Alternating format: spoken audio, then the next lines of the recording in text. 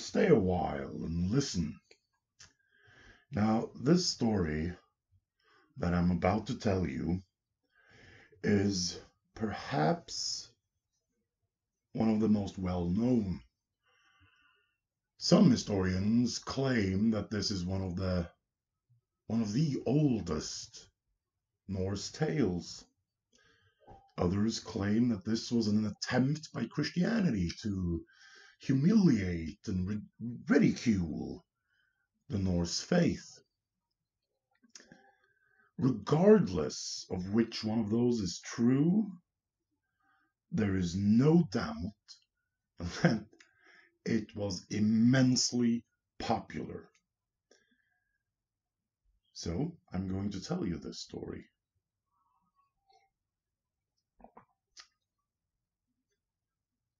Once upon a time, Thor had been out traveling. And the story doesn't say what he was up to, but it was something that made him really, really tired. So he laid down to rest in the middle of this big, empty green field. He parked his cart, fed his goats, and laid down and took a nap. Several hours later, he woke up and he realized immediately that something was amiss. Something was wrong. He quickly looked around himself and he discovered that his hammer was missing. Mjolnir was gone. This was a disaster. He tore at his hair, he ripped at his beard, and he bellowed across the lands. He realized quickly, though, that he needed help. So he gathered his goats, got into his cart, and flew back to Asgard. There he gathered the gods and informed them that his hammer was missing.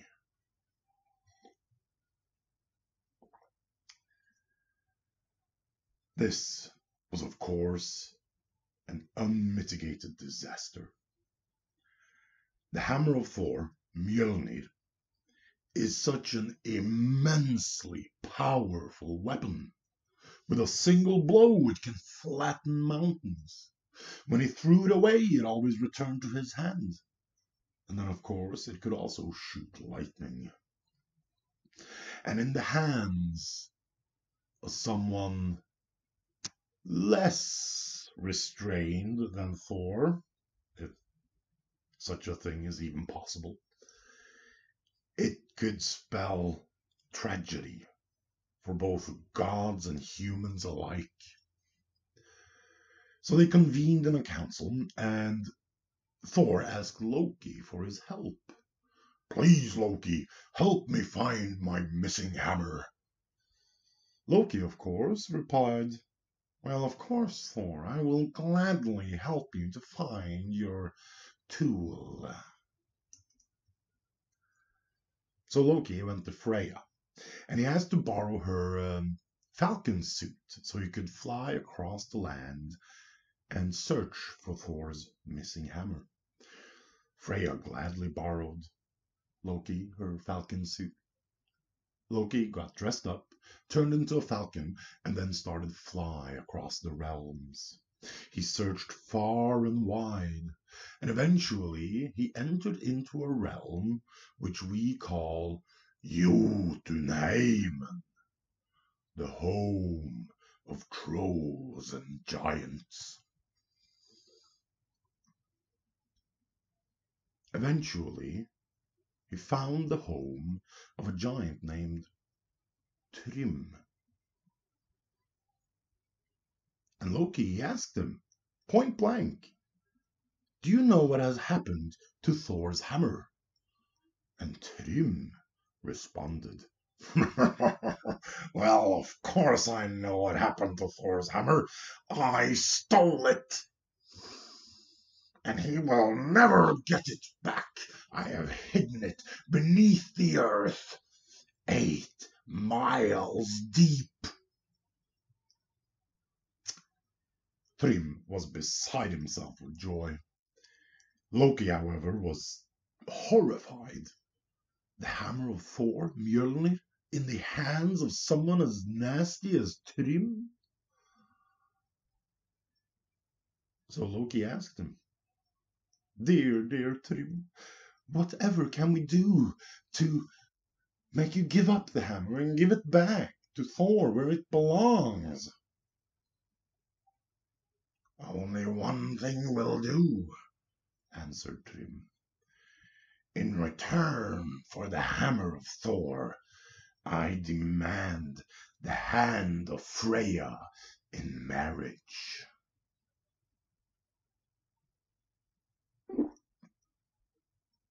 Loki swallowed heavily, flew back, and gathered the gods once again for a council. And there he relayed the demand of Thrym. Thor, of course, immediately got up, grabbed Freya round the arm, and said, Come, woman, let us get you a bridal dress. Freya wouldn't have anything to do with that.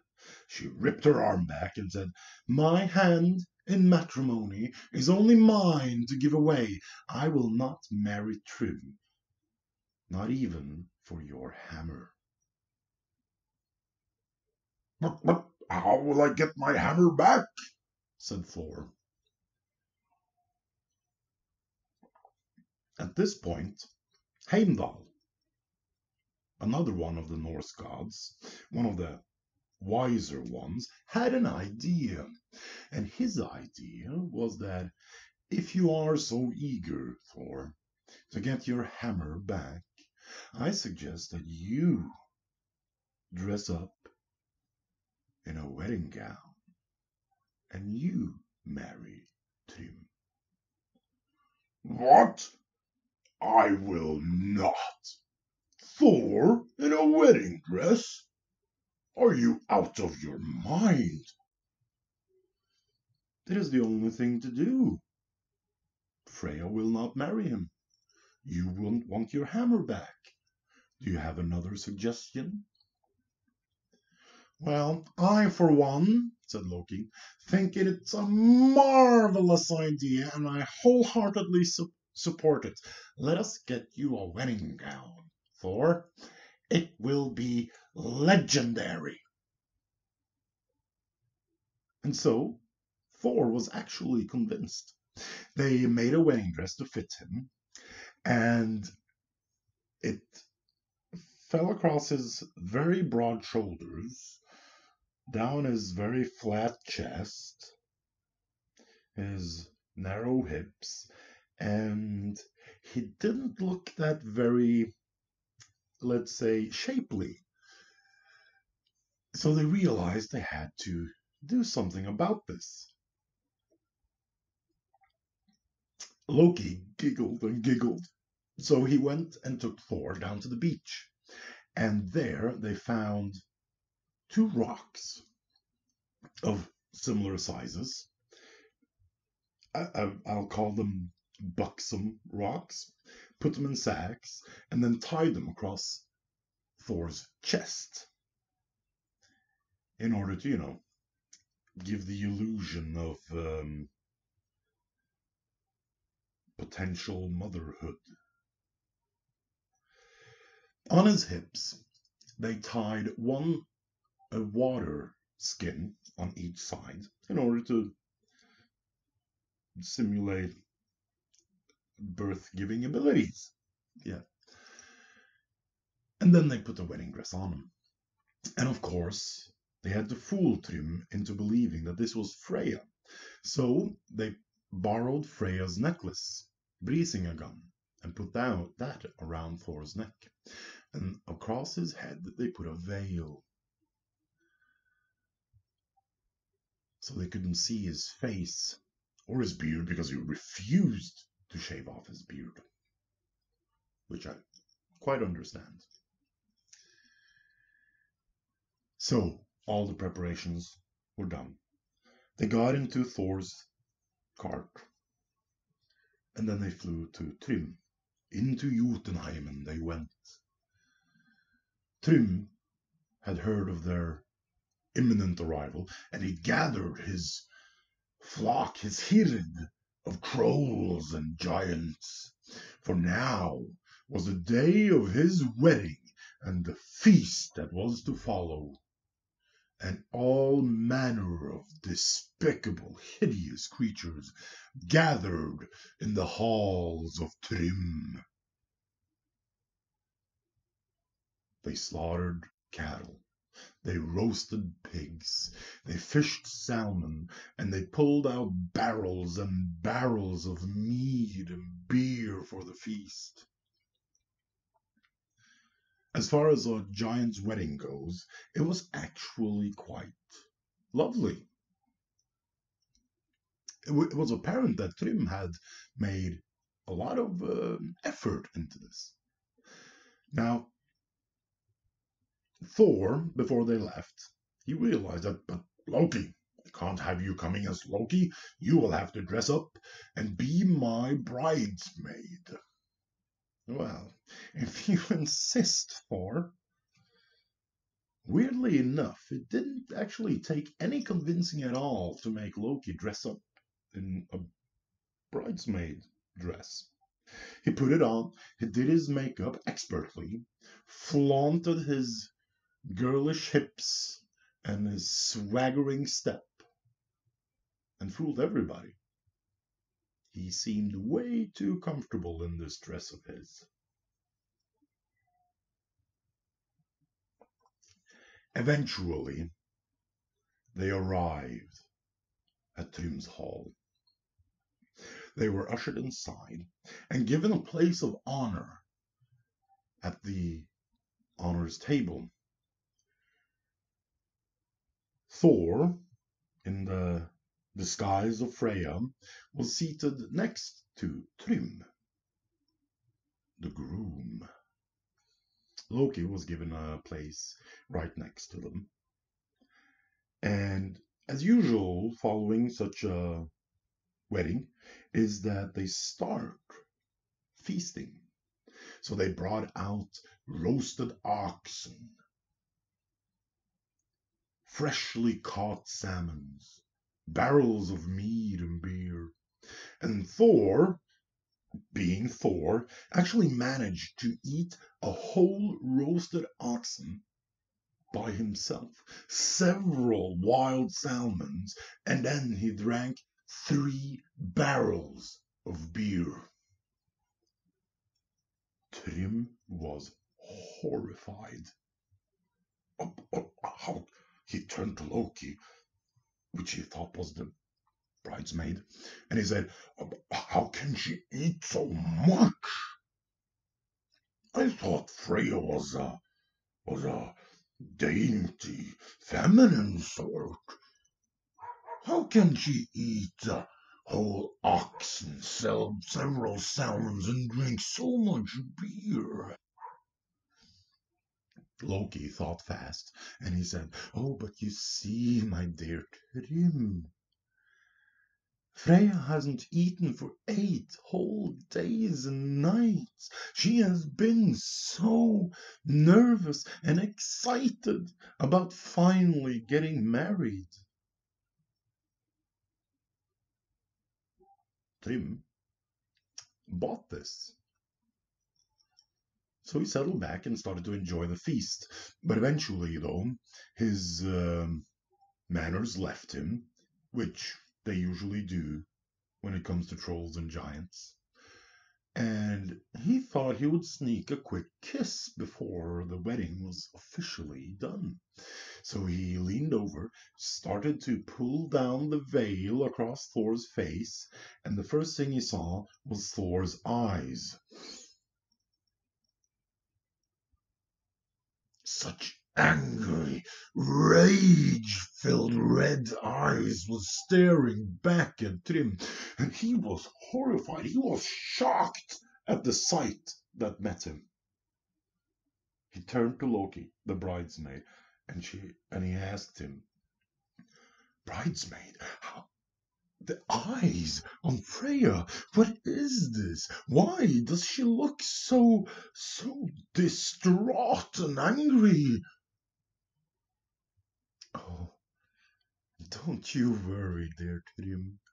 She, because you see, Freya, she hasn't slept in eight whole days and nights because she's been so excited to finally get to marry you. And you know how sleep, what it does when you don't get enough of it, what it does to a woman on this, the night of her wedding night. Thrym bought this as well.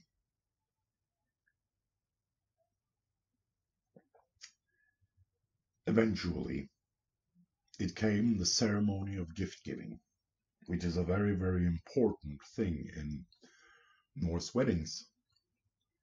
And the very first thing that was brought out was, of course, the gift for the bride, Mjölnir. Five giants were required to carry the hammer down the length of the hall and gently place it in the lap of who they thought was Freya.